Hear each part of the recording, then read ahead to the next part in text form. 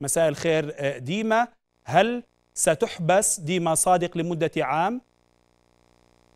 اولا مساء الخير مساء النور شكرا على الاستضافة طبعا أهلاً. أنا ما بقبل بهذا القرار خاصة إنه هو بمس بحرية الصحافة بحرية التعبير وهو قرار ظالم بكل المقاييس فطبعا أنا ذاهب إلى الاستئناف ولكن هي.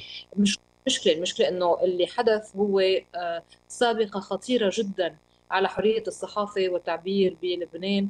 طبعا معروف إنه يمكن من الاشياء القليلة اللي بعد موجودة بلبنان وحافظ عليها حافظت عليها هذه الدولة نعم. آه، الصغيرة هو الحر- حريه الإعلام بحريات الإعلامية والحريات بالمطلق. اليوم في قرار غريب مهم. عجيب بانه أنا آه، أحبس لعام لأنني ادنت نعم. لأن لأنني أدنت آه، موضوع آه، يعني أدنت ال- ال- العنصرية أنا مم. اللي تم حبسي يعني أو نعم. آه، في قرار مم. من الذي يريد الانتقام منك ديما؟ يعني هو هذا القرار هذا نعم. هذه الدعوة هي من قبل التيار الوطني. الحر ورئيسه جبران باسيل جبران باسيل هو الذي تحديدا يعني أكثر من تم التصويب عليه بثورة 17 تشرين أكثر من هتف ضده. وطبعا أنا كنت من بين مئات اللبنانيين اللي عم بهتف ضده. وطبعا كان بما إنه هو يعني حزبه كان بالحكم من خلال رئاسة الجمهورية رئاسة ميشيل عون فطبيعي كان هو آه، الهدف الأساسي لانتقاداتنا. فهو تمام. اليوم هو اللي رفع الدعوة. حرية التعبير في لبنان هي المستهدفة ديما أم ديما صادق على وجه التحديد وتابعناك لك حملات قمت بشنها على آه، حزب الله عبر مواقع التواصل الاجتماعي وأيضا على التيار الوطني الحر. لا طبعا حرية التعبير هي المستهدفة. أنا بالنهاية فرد أنا بالنهاية شخص. آه، من خلاله يراد آه، إيصال رسالة بأنه هذا التجرؤ على هذه الشخصيات السياسية على هذه المحظورات السياسية ممنوع. فهي رسالة من خلاله ل- آه، لكل اللبنانيين ولكل المرشدين ولكل الصحفيين ولكل اللبنانيين بالعموم. يعني ما ننسى أن اللبنانيين منذ ثلاث أربع سنوات قاموا ب جدية جدا ضد كل الطبقة السياسية والطبقة السياسية لا تزال يعني آه، تعاني من تروما ما حصل في 17 تشرين وبالتالي هي بدها تحصن حالها من إنه هذا الحدث ما يرجع يصير بتحصنه من إنه من, خ... من هذه الرسائل اللي عم تبعتها نعم حملات سابقة شنت عليك بألفاظ ربما لا نستطيع أن نذكرها هنا عبر الهواء عبر مواقع التواصل الاجتماعي. خرجت بأكثر نعم. من آه، فيديو.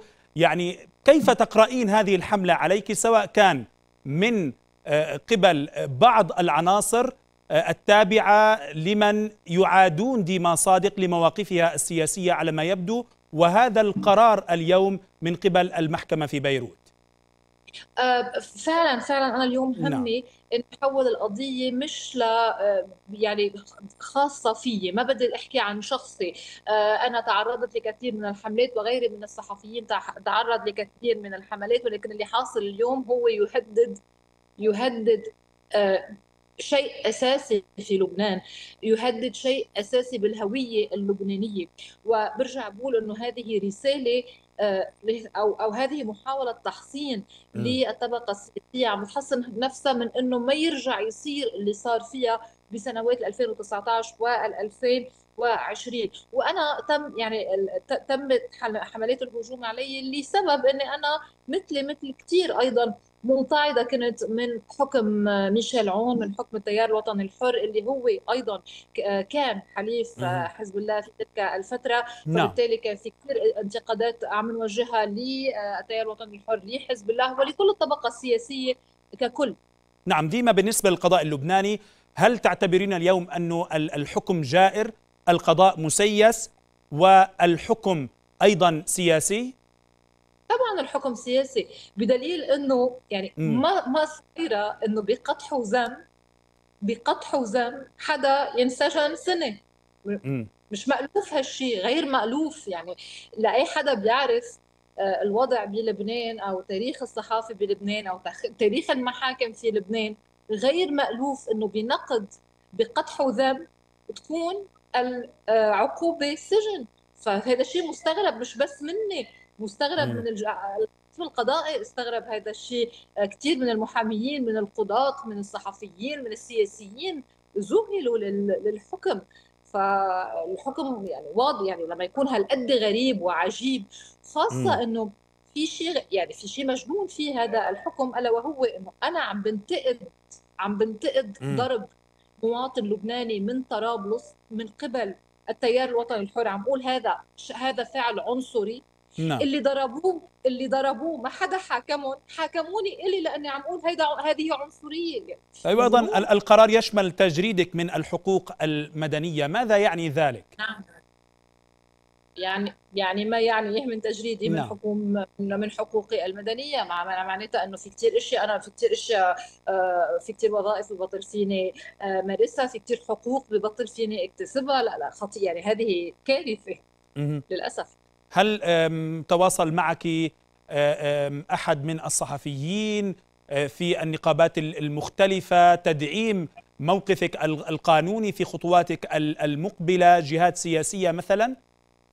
لا ما في شك إنه كان في استنكار واسع جدا جدا. يعني كل الصحف اللبنانية العريقة من جريدة النهار إلى كل يعني كل الصحفيين المخضرمين في لبنان استنكروا هالشيء كل المواقع مواقع الصحافة البديلة أيضا استنكرت وتضامنت بشكل كثير كبير. بالمناسبة كل الأحزاب السياسية تقريبا استنكرت.